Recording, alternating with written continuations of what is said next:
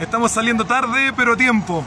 Pero no nos olvidemos que esto no se acaba en abril, ni en 2021, ni en 2050, ni en 2150.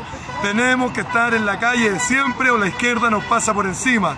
Y los hueones nos pasan leyes de pedofilia, se quieren meter con nuestros cabros chicos, nos meten esta cuestión de cambio constitucional para robarse las monedas y nosotros no podemos dejar que eso pase esperando una votación para elegir a un José Antonio Cast o a un Joaquín Lavín que nos vengan a salvar el culo, si es que lo hacen.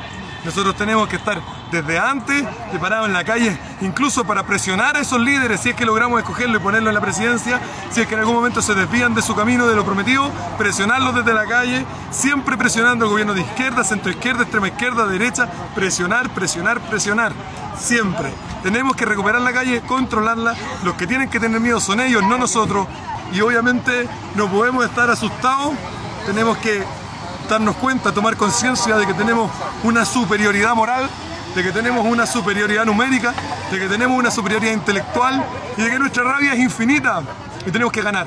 Así que a ganar el plebiscito y a ganar para siempre. Que tus hijos y tus nietos salgan a la calle a defender los valores cristianos, la patria, la familia y la propiedad privada.